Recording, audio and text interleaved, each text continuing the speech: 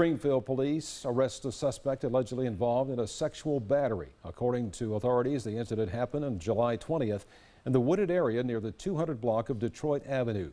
Investigators say 42-year-old Jamal Alexander Armstrong of Panama City was identified as the suspect. Following an interview by investigators, he was taken into custody and charged with sexual battery. If you have any information on this case, contact Springfield Police or you can remain anonymous by calling Crime Stoppers. That number 785 TIPS. Another